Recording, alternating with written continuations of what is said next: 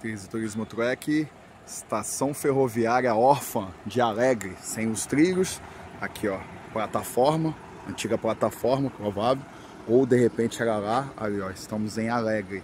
Olha só como era a estação hoje, como uma estação órfã. Fundada em 1912, era a ponta do prolongamento do ramal que vinha lá de River, né? Estivemos lá ontem à noite. Hoje é a sede da Casa de Cultura de Alegre e também do Instituto Histórico Geográfico de Alegre, IHGA.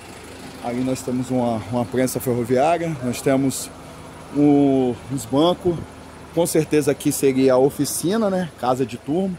Olha o, do jeito o estilo da Leopoldina, né? Leopoldina arrematou em 1900 e, 1911 o direito de exercitar mais uma das estações que eram estações da época da Estrada de Ferro Itapemirim e, e a Lord Cia Company, que comprou a Caravelas.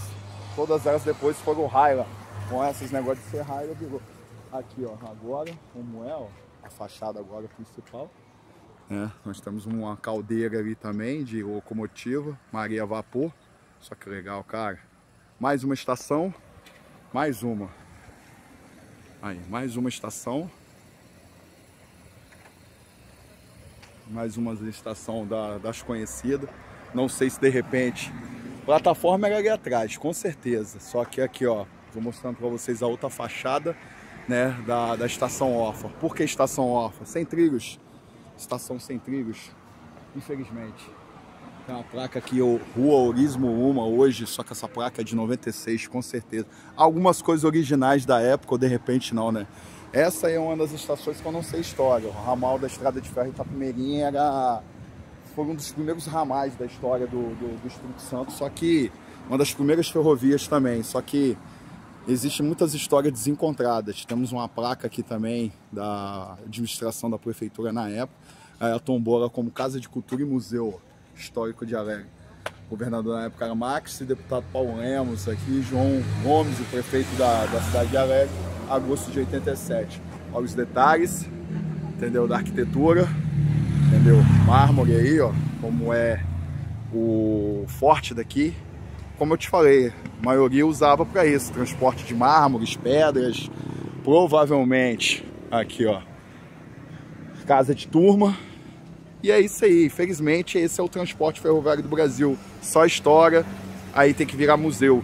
Complicado viver num país em que é, ferrovia para eles não é nada, né? Só coisa bacana.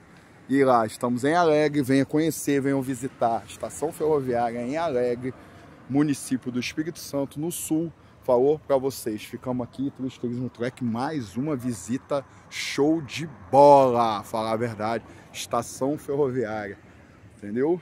Vamos que vamos. Aí, ó, mais uma vez aqui, ó, passar para vocês como era que a plataforma. Provavelmente a linha vinha aqui, ó.